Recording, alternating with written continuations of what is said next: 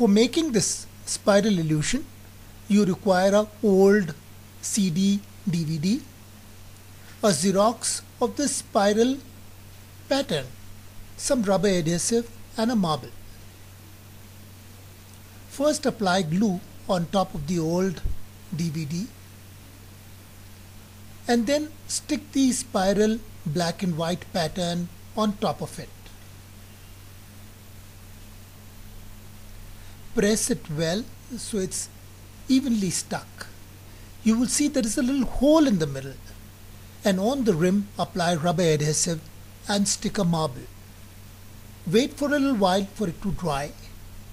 Now you will see that on the reverse is a small spherical surface in the middle which forms a good pivot and the marble forms a good grip. If you spin it then the spiral keeps spinning for a very long time. It looks like as if it's exuding energy outwards.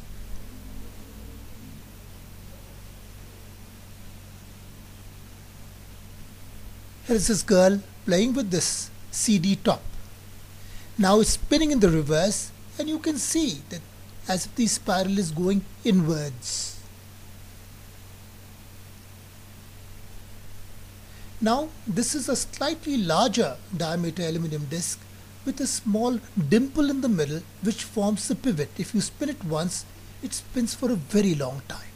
So you first give this disc a spin and you keep gazing at it for a few seconds and then you look at this plastic brain and the brain would appear slightly larger in size.